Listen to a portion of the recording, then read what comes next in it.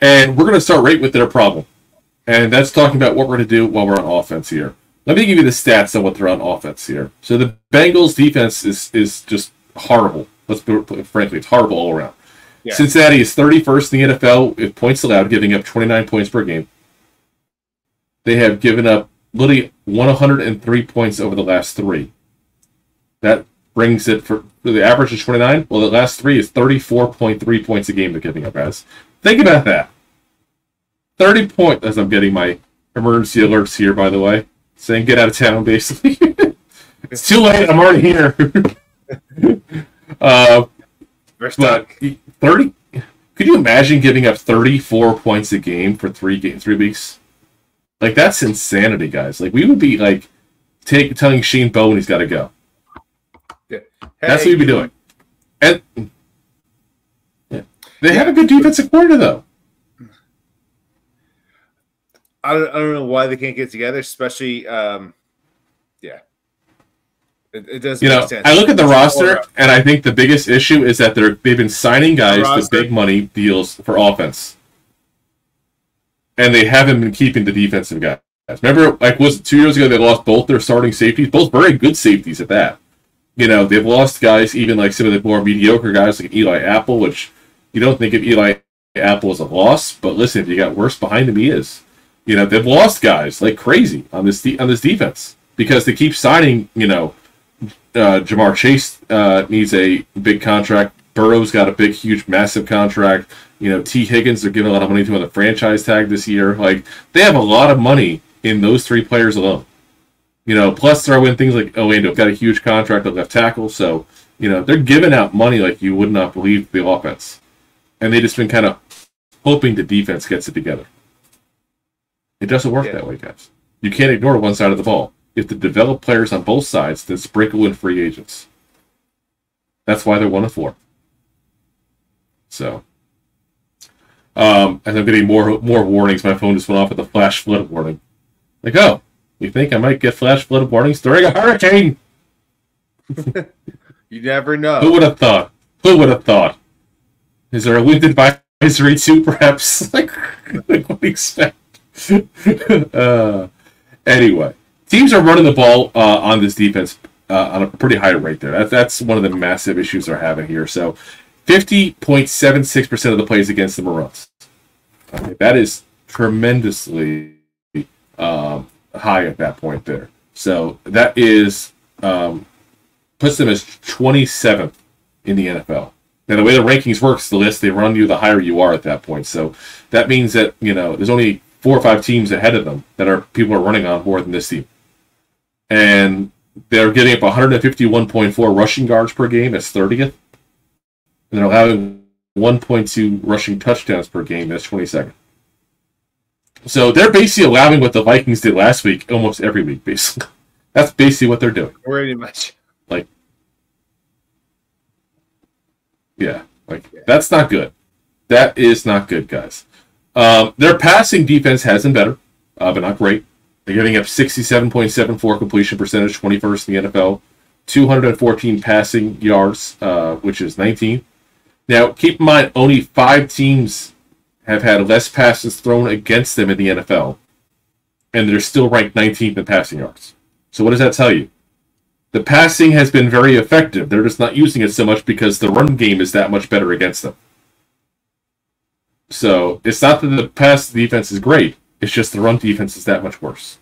Um, so, they're also not getting to the quarterback, and they're sacking the QBs at just a 3.73% sack rate that's 31st in the NFL. By the way, we're number one on that rate. We're Score. number one. Sounds so sounds so good to see something positive for once.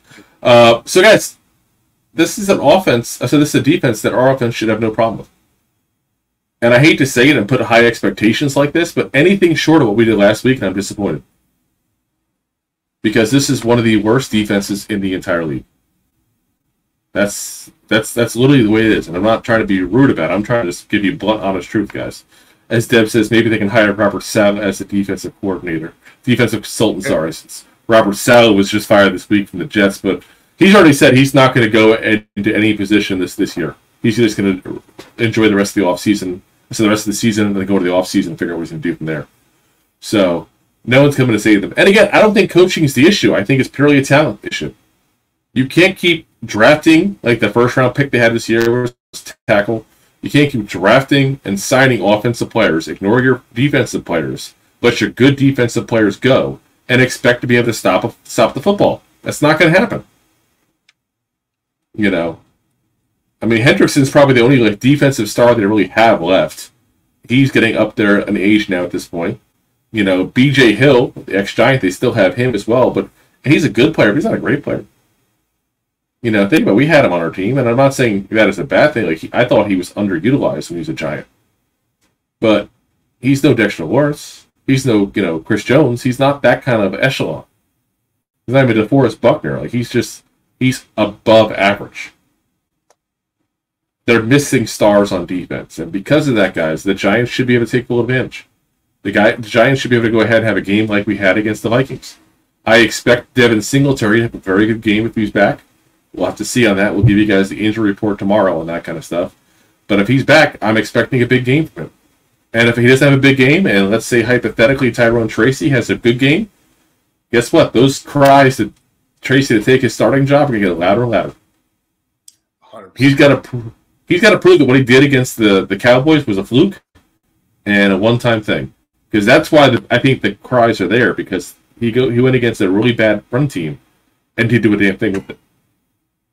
So now he has another one. If he's healthy, he has a chance to do something special here and shut people up. Because that's a great feeling if you're a guy that's somebody's trying to take your job and you come back and just crush it. That's a great damn feeling to go ahead and just take it. Say, nope, I got this. This is my job. And honestly, it's best for the Giants. It's best for the Giants. Like I said, we said talked about this on the last episode.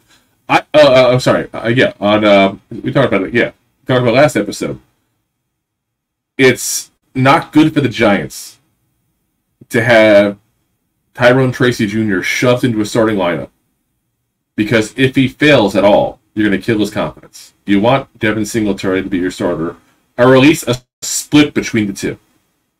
So you give Tracy a chance to truly develop naturally without forcing him into a position when he's still learning running back position, guys. He's still learning. Got great instincts though. Yeah, he's like I said. I, I'm I'm counting on both those guys having a big game. I'm counting on Daniel Jones having a steady game. I just want to I want to see a couple more bombs from him too. I want to see a couple more Slayton bombs. Like that. That's my challenge to Daniel Jones this week. Is shut shut us up. And I mean us, just me and Rob. I mean all the fans, all the content creators, all the media personalities, because that's what got us so mad. For the like, everybody's like, "Oh, he played great weeks two through uh, through five there," but he didn't because he can't he couldn't throw the deep ball. And until you can throw the deep ball on a consistent basis when it's there, and it's been there, it's been the guys have been wide open, you're a game manager. He did that very well with Slayton on that one drive there. A couple bombs to him and really made it nice and simple.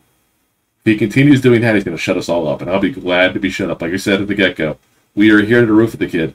He's a great guy by all accounts, and he's a New York Giant.